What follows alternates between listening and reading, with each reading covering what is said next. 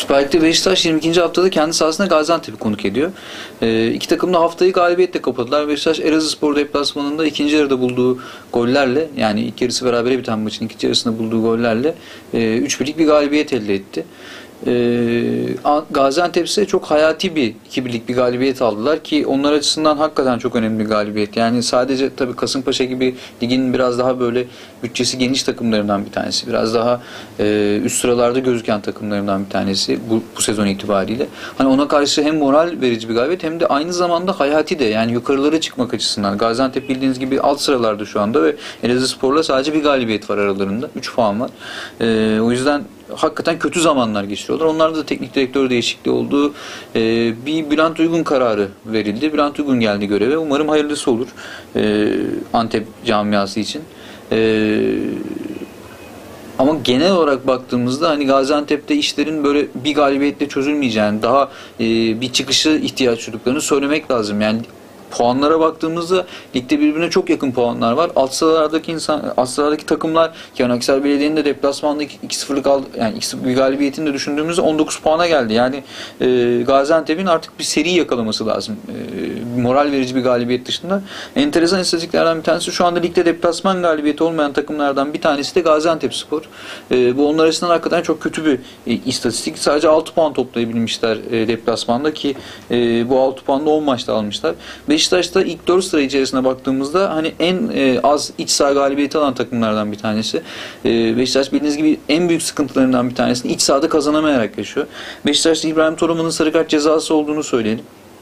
E, orta sahada Necip muhtemelen geçen hafta yerini alamamıştı. Bu hafta oynayacaktır. E, İbrahim'i o bölgede oyunun belli bir döneminde yani Sinan değişikliğinin ardından orada kullanmıştı hoca. Eskude Ersan ikilisinden birisi forma giyecek Sivok'un partneri olarak. Sivok'un son haftalarda çok formda olduğunu düşünüyorum.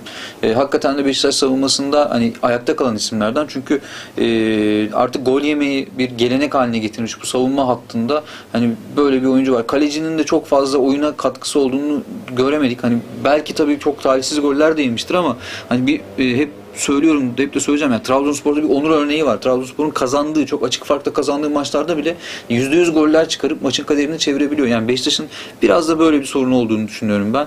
Ee, ama galiba önümüzdeki sene için planlar içerisinde McGregor'da yer almıyor. Ee, onun, hocanın da böyle bir görüşü var. Yönetimin de böyle bir görüşü var. Bunlar tabii gelecekle ilgili e, düşüncelerimiz.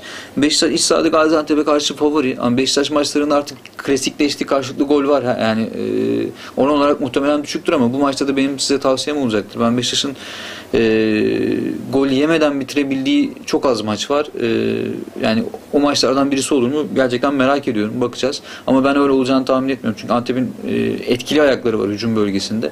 Beşiktaş'ın savunmasında yine değişmiş olacak tandem ki e, bence en büyük sıkıntılardan bir tanesi de bu sürekli değişen bir savunma dörtlüsü var. E, böyle bakıldığında dediğim gibi karşılıklı gol var. Yine burada Beşiktaş'ta bu maçla ilgili söyleyebileceğim e, gol bahislerinden bir tanesi. Ben Beşiktaş'ın favori olduğunu düşünüyorum. Bu beraberlik serisine, bu iç sahadaki beraberlik serisine artık son vermesi gerekiyor Beşiktaş'ın.